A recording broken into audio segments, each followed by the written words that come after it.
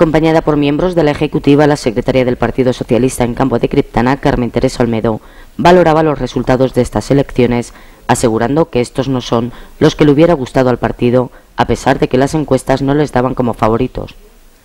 En cualquier caso, y ante lo expresado en las urnas, Olmedo, tras felicitar a los populares por la victoria, manifestaba que la pérdida de votos de los socialistas se debe en gran parte al trasvase de votos a Izquierda Unida. Asimismo, aseguraba que el Partido Socialista a nivel nacional, tal y como está haciendo en Campo de Criptana, llevará a cabo una oposición leal y útil. No son los que el Partido Socialista le gustaría. No digo lo que esperábamos porque bueno, ya sabíamos por encuestas eh, cuáles más o menos iban a ser los, los resultados.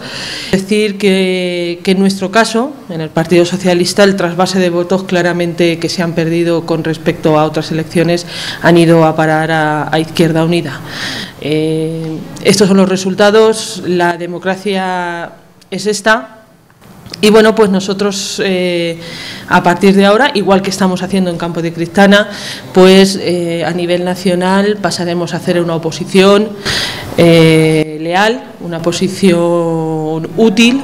y bueno, pues demostraremos al Partido Popular lo que es eh, hacer oposición. Por otro lado, y ante la pregunta sobre posibles cambios en el seno del partido a nivel nacional y sobre un debate interno de regeneración, tras haber perdido en las elecciones locales autonómicas y ahora en las generales, Carmen Teresa Olmedo aventuraba posibles renovaciones en un breve plazo de tiempo. Está claro que siempre que hay ciclos, y bueno, pues estos son ciclos,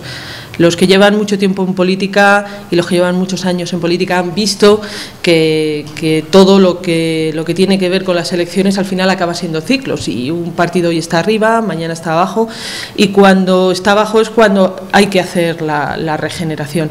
Eh, yo supongo, porque esto ya depende de nuestro secretario general a nivel federal, que es José Luis Rodríguez Zapatero, pero se convocará un congreso, no creo que se tarde mucho en anunciar y bueno, pues a partir de ahí empezaremos la renovación a todos los niveles. En cualquier caso, y pese a los datos, Olmedo manifestaba que la lectura positiva es que en campo de Criptana no ha habido trasvase de votos del Partido Socialista al Partido Popular.